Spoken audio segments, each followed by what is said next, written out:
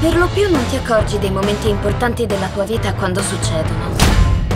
Capisci che erano importanti solo ripensandoci. Fanculo la cintura. Cosa facciamo? Ci serve un posto da queste parti, un posto bello. Cazzarola. Per te una violazione di domicilio è volare bassi? Deve essere il padrone di casa. Possiamo piazzarci qui, con calma. James mi sembrava uno di cui avrei potuto innamorarmi, ma veramente.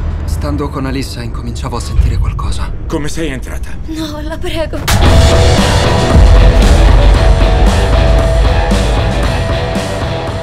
Lui ti avrebbe fatto del male.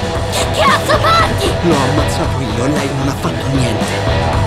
Marta! Di che sono stato io e ti salverai. Fermo, polizia!